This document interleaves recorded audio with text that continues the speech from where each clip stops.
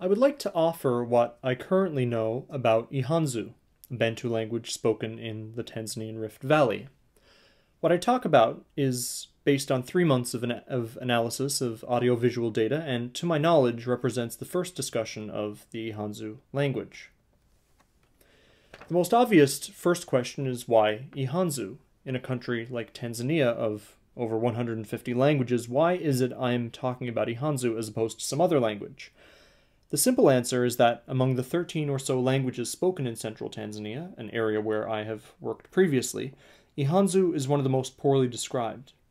Using the Boasian trilogy as a rough standard of how described a language is, and recognizing that a language is not fully described even with all three documentary outcomes are realized, as I mentioned uh, in a talk given several weeks ago, uh, we can see that the neighboring language, Iraqw, possesses a grammar, a book of texts, and a dictionary.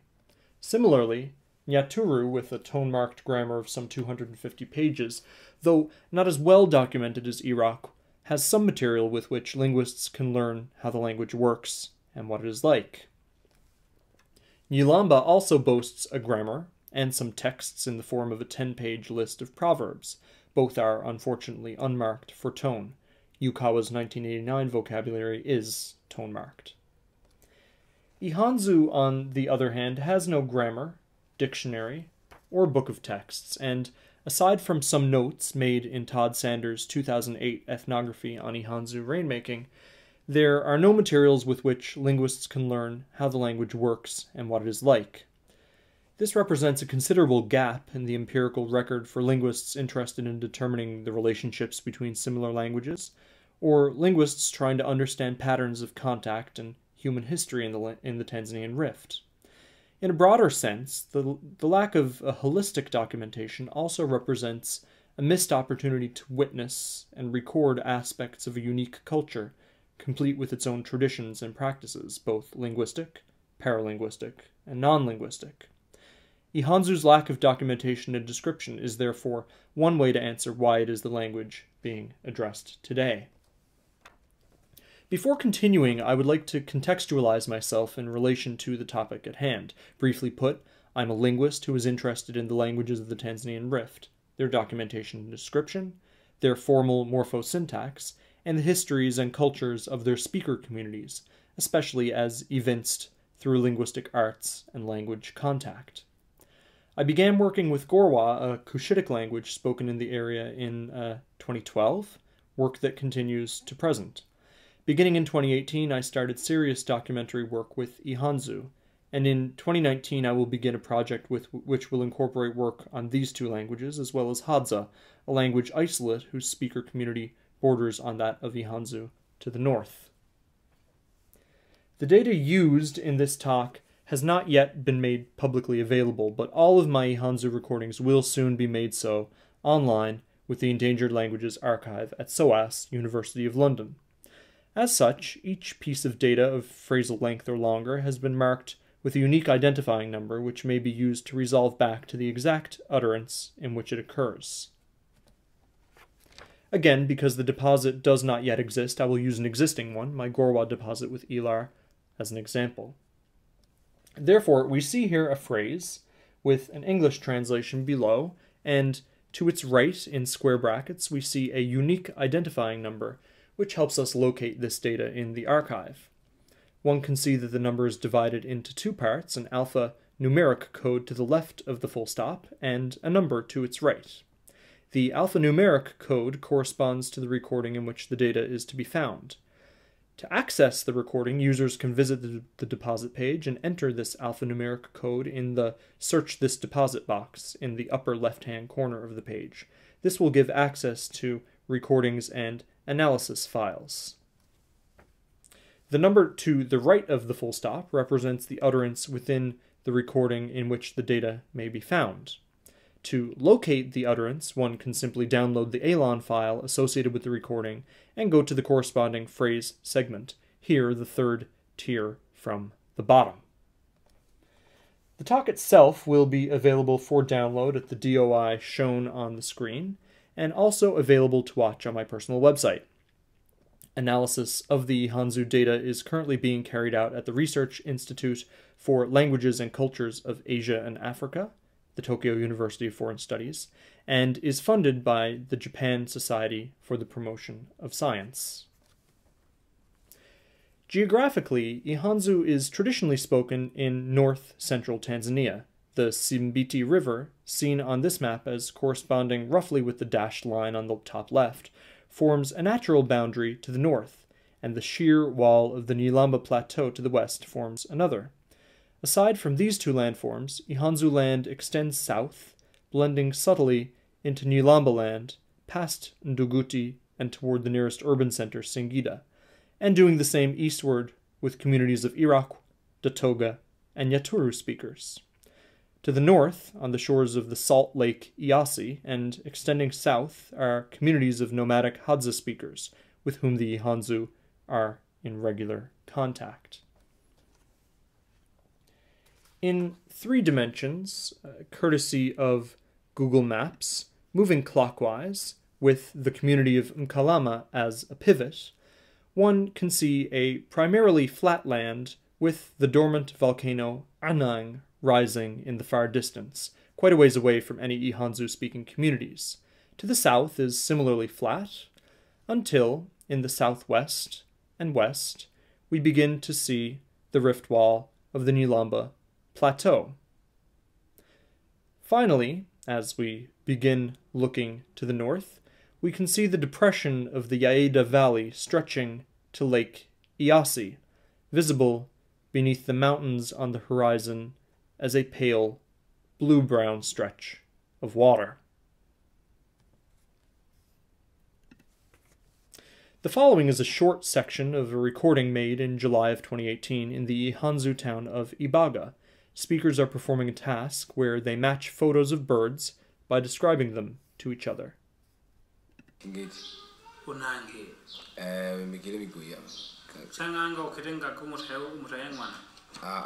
Manje eh, ko ingene dukire ukireranga ikwiye kwiye ruguru. Wihanganga nkerege nyine. Eh nkerege ni nkerege ni urako no no no pirukire. Manje kote una nkemi koko. Eh ikora la la mije mijeri diero digetere angaliraye. Tira.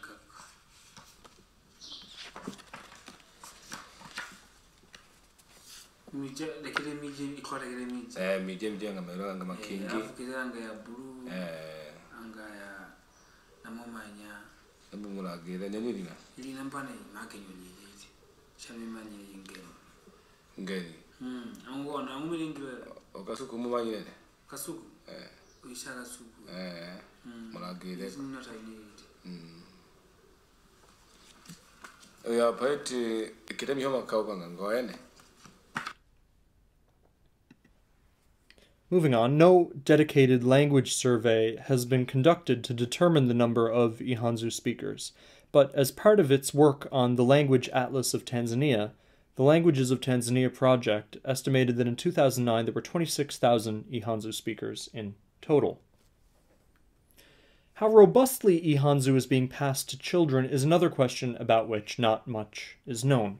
Personal observation, as well as testimony from speakers, both at the language workshop held in Babati in July of 2018, as well as in more informal settings, indicates that transmission in urban areas is very low, that both Swahili and Yilamba are increasingly being used in situations where, in the past, Ihanzu had been used, and that many speakers consider Ihanzu a language of the uneducated or the simple. The Hanzu have extensive oral accounts of a historical migration to their current homeland, some of which were recorded in amateur local historian Onesmo Dadi's account, and often these oral histories recall moving south, by or through Lake Victoria Nyanza. Sanders details multiple conflicts with European colonial administrations. The Hanzu are notable in the Tanzanian Rift in that they are sedentary farmers and see themselves unambiguously as such, as compared to other farming groups who prefer often to identify as pastoralists. Sorghum and maize are important staple crops. Kinship among the Hanzu is matrilineal, and residence is, at least in early marriage, matrilocal. Culturally, the Ihanzu are renowned throughout the Rift Valley area for their rainmaking abilities, an institutionalized practice which continues to this day.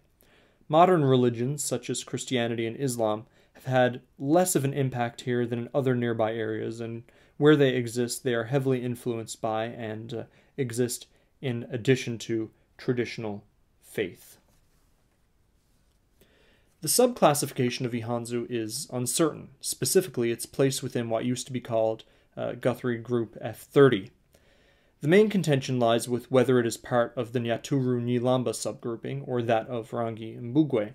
There even exists a claim, whose provenance is entirely unclear to me, that Ihanzu is a remnant of a Bantu group spoken in this region before F group Bantu arrived.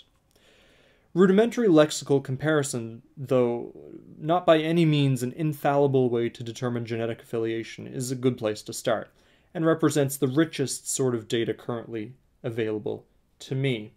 Comparing Ihanzu with an F2 language like Nyamwezi and F3 languages like Rangi and Yaturu, it becomes quite clear that Ihanzu shares considerable similarities with F3, both uh, big and blood, patterning neatly with Rangi and Yaturu. Some forms are, however, less clear, such as the adjective black, which seems to pattern neither with Nyamwezi or Rangi Nyaturu, as well as small, whose relation to the Nyaturu form is distant at best, though we will return to this form in a moment. Leaving Nyamwezi as the odd one out, and bringing in exclusively F30 languages, a clear pattern emerges wherein Ihanzu consistently patterns with Nyaturu Nyilamba rather than Rangi and Mbugwe. We can see this in the adjective for long, the noun for breasts, as well as the verb jump and the noun ni. With that said, let us not forget that language contact may also be playing a role here. Ihanzu is currently in contact with both Nyilamba, and, to a lesser extent, Nyaturu.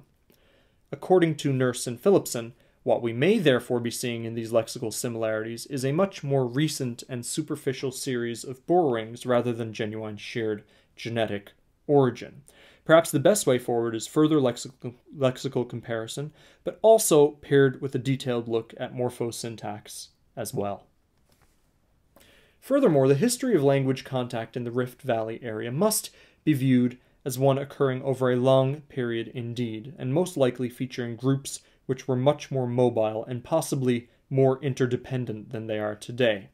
Returning to the case of the lexical item for the adjective small in Ihanzu, I would like to submit that the relation is not one of borrowing or common provenance between Ihanzu and Yaturu, but one of borrowing between Ihanzu and Gorwa, Iraqw, or more likely, some common ancestor of both South Cushitic languages quite some time ago. One can see clear correspondences between all the words in this chart. However, the issue of origin language is not always entirely clear. For example, where it seems quite clear that the word for enemy is Ihanzu in origin and therefore borrowed into South Cushitic from Bantu, the origin of the word for small is somewhat less certain. Is it a Bantu word borrowed into South Cushitic, or is it a South Cushitic word borrowed into Ihanzu? Is it a word borrowed into both uh, languages from a third language? Uh, remains to be determined. Moving from genetic and areal considerations, the consonant inventory of Ihanzu can be characterized by its lack of labiodental dental fricatives, alveolar affricate cha, as well as rhotic ar. Conversely, the voiced affricate j, as well as the nasal consonant clusters b, d, g, are all complex consonant phonemes in the language. Z is an allophone of the voiced alveolar fricative z, and the alveolar flap r is an allophone of the lateral l. In my working orthography, sounds are rendered by their IPA equivalents, save for the forms highlighted in red, which largely follow regional convention. Ihanzu has a seven vowel system characteristic of other seven vowel systems in Bantu, with the vowels laid out in the vowel space as shown. vowel length is phonemically distinct, with a distinction between long and short vowels. Ihanzu also has the semivowels or glides w and y. In my working orthography, most vowels are not represented by their IPA equivalents. Instead, I've opted for a system employed by scholars of Rangi, a language spoken in the area. Uh, see especially the work of uh, Oliver Stegen, 2011. Tonologically, Ihanzu features a distinction between high and low tone, or zero in a privative system, with the mora as the tone bearing unit. Compare the minimal pair, ntundu, the gallbladder, and ntundu, a frog or toad. High tone can fall on seemingly any syllable in a noun, uh, the, as the example shown, except for the initial syllable. To this point, I have only observed a single high tone per noun stem. This pattern may, uh, however, be disproven as I become more proficient at hearing Ihanzu tone, or as I collect more nouns. Verb stems may bear high tone as well, but the patterns are more complex. Morphophonological operations in Ihanzu are a mix of those which are more or less familiar in other Bantu languages of the Rider region, as well as those which are less so. Predictably, we see homorganic nasal assimilation, in which a nasal consonant assumes the place features of the consonant following it. We also see cases of postnasal hardening, in which l hardens to d following a nasal. Less common is the palatalization of the sequence m, uh, the class prefix for noun classes 1 and 3, when followed by a front vowel, resulting in forms such as hueli, moon, and wana, child. Particular to Ihanzu in the region is intervocalic lenition. This typically results in a consonant becoming h between two vowels intervocalically, but it also may result in the consonant's total deletion, uh, as we can see in the second example especially if that consonant is close to an identical consonant. The operation is salient enough to be thought of as characteristic of Ihanzu. One can even see in the name for the language Ihanzu uh, has an H, where uh, in other languages that talk about this language, such as uh, Nyaturu and Nyilamba, uh, they say Isanzu. Morphotonological operations are also widespread and varied. My current understanding of the patterns allows me to confidently describe only one at present, that is, the regular tonal shift of a high tone from one mora to the following mora. If a morpheme has a shifting tone, I write it following that morpheme. This table is a summary of noun class markers and their associated concord made with elements including adjectives and the connective ah. Note that there are gaps, some of which indicate a genuine lack of a morpheme, such as augments for the class markers 15 through 18, and others simply represent forms I have yet to see in the data thus far, such as most of the verbal object markers. I'm not strongly convinced at this point that Class 12 is a noun class which has been integrated into Ihanzu for a long period of time, as certain forms I expected to be produced have, as of yet, not been. Observers will note the importance played by vowel height, for example, in distinguishing noun class prefixes 15 and 17, or subject markers for noun classes 9 and 10. Noun class semantics largely conform to regional patterns, humans in classes 1 2, trees in classes 3 4, for example, but several surprising cases exist in uh, clearly non human nouns being assigned to classes 1 2, including kutwi, ear, zoro, razor, kapinkinya, dagger, and sakami, blood. My current knowledge of the verbal morphology of Ihanzu is somewhat less than that of nouns. What follows is a very rudimentary treatment in which I identify several common verbal morphemes, as well as their respective slots in the verbal template. As is to be expected, Ihanzu verbs are morphological complexes formed of a verb stem surrounded by a series of affixes. The form okomokoa can be decomposed to a subject marker u a progressive aspect marker, ko, an object marker, mo, a stem, ku, and a final vowel, a. This can be placed in the template thus. the form ukimanyere functions in much the same way, but this time employs a morpheme that I'll provisionally call past or perfective, which fits into the second tense aspect mood slot rather than the first.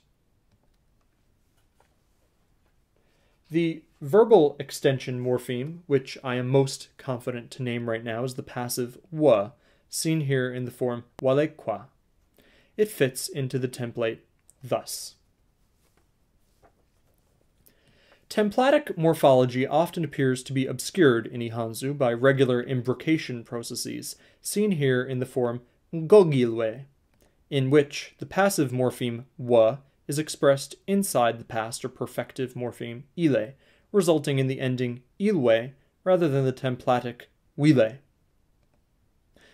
I currently have not looked enough uh, at data to say anything for certain about negation in Ihanzu, and therefore the negative slot will for now go undiscussed.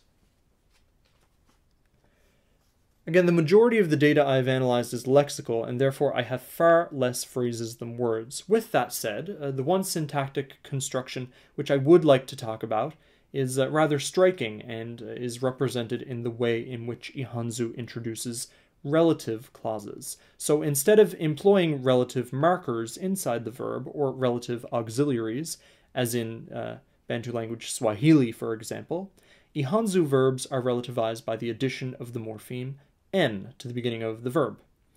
This is identified as a relativization strategy in both Nyilamba and Nyaturu, but not the other F3 languages, Rangi and Mbugwe. In addition to relativizing verbs, the same morphology usually appears with adjectives as well, all of which I have translated as relative clauses. Does this mean that the n is somehow copular? I am doubtful, as all copular forms I've recorded, recorded so far seem to agree with the subject for person, and uh, third person copulas are null. This form has, in the earlier grammars of Nyilamba and Yaturu, been described in various ways, for example, as the coordinating conjunction and, which takes a similar form. Given my current knowledge of the language, I will for now remain agnostic as to the ultimate origin of this form. What I would like to contribute, however, is that the South Cushitic language Gorwa also has a relativizing morpheme.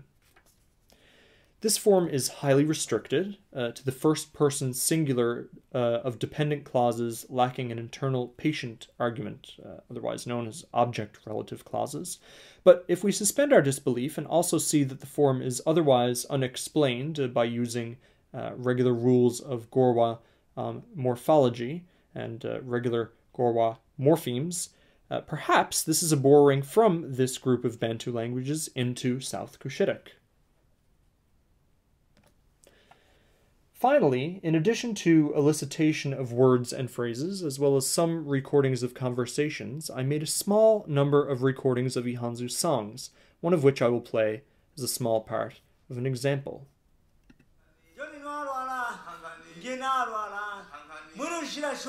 E E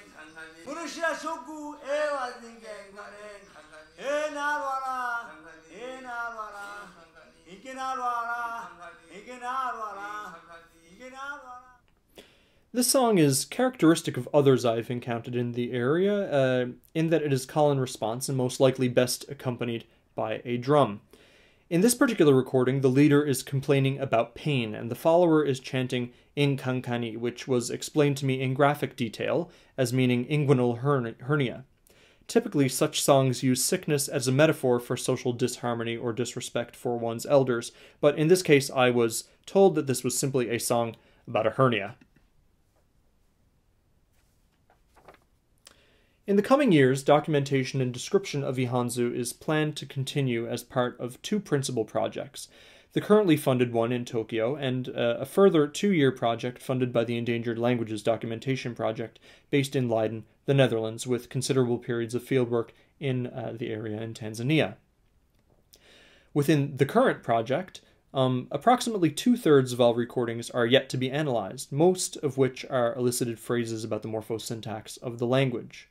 The current project will also involve an international workshop of the theme Bantu in contact with non Bantu, as well as a publication on a selected topic in Ihanzu grammar. The follow on project builds on the current one, adding approximately 34 hours of structured elicitation and further documentation of natural language use by local native speakers who will be trained in audiovisual language documentation.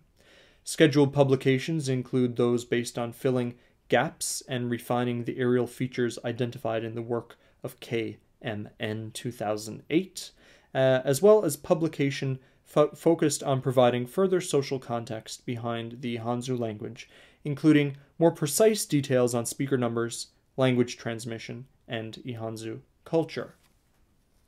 I'd like to end on why this work is important. First, it has been convincingly established by others that the F30 group is a geographical rather than a genetic or areal grouping. But the successor or successors to F30 cannot be established until linguists have data on all of these languages. Documentation and description of Ihanzu helps provide further data on these languages, allowing for lexical and, eventually, morphosyntactic comparison. Key exercises if we are to tell a rigorous and compelling story about these Rift Valley Bantu languages. Second, Ihanzu data is essential not solely to Bantu studies, but to understanding the wider range of languages in the Tanzanian Rift Valley area. Even if one of the candidates for borrowing I presented today proves to be valid, it would have consequences for how we imagine the past movements of people and interactions of languages and cultures across the Tanzanian Rift Valley, and ultimately enrich our understanding of the area and of its languages. In addition to these tentative borings between Ihanzu and South Cushitic, early evidence suggests contact with Hadza uh, are much more extensive, and of course, again, only detailed documentation and description can establish this. Finally, beyond the derived benefits of documenting and describing Ihanzu lies the real value, the, the privilege of engaging with a people and a culture to tell the story of a language on its own terms. The value of this, of course, is inestimable. Thank you for listening, and here are my references.